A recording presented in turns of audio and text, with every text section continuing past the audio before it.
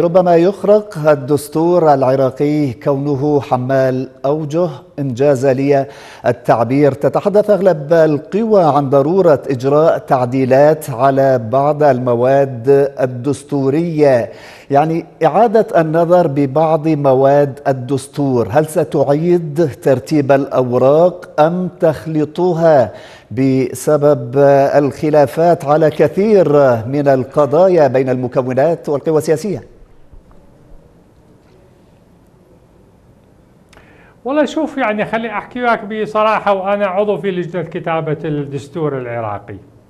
آه ليس الخلل كله في الدستور، نعم أتفق معك أن الدستور بحاجة ماسة إلى تعديلات جوهرية، وهذه الحاجة آه تقريبا تبلورت وظهرت بشكل ملح منذ عام 2010 وحتى هذا اليوم، يعني الآن الدستور ما عاد قادر على تنظيم العملية السياسية بشكل سليم إلا بتعديلات آه، آه، جوهرية. لكن هل كل النصوص التي تم الاختلاف حولها أو التي انتهكت كانت بسبب أنها كانت حمالة أوجه؟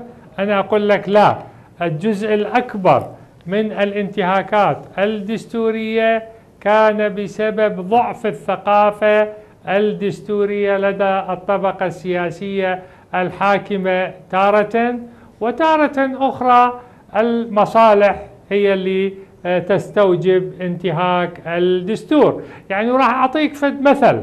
يعني كثير يثار أنه بحاجة إلى تعديل اللي هو المادة 76 المادة اللي تتعلق بالكتلة أكبر. النيابية الأكثر عددا. يقولون حمالة أوجه وتحتاج إلى تعديل. واقعا هي ليست حمالة أوجه ولا تحتاج إلى تعديل.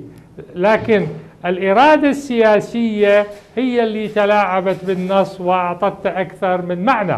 وإلا إحنا يعني آه، آه، آه، تفسير صار هو من المحكمة الاتحادية السابقة. قالت إنه لا بما أنه أنتم استخدمتوا الكتلة النيابية الأكثر عددا ما قلت الكتلة الانتخابية الأكثر عدد الأكثر عددا فإذا الكتلة الأكبر هي اللي تتشكل داخل قبة البرلمان. أنا كعضو دا أتحدث بصفة رسمية يعني بصفتي مشرع.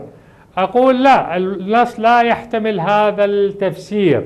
النص كان يقول الكتلة النيابية اللي هي الكتلة الانتخابية حالما تذهب إلى قبة البرلمان وتؤدي نعم. اليمين الدستورية تتحول إلى كتلة نيابية وتشكل الحكومة.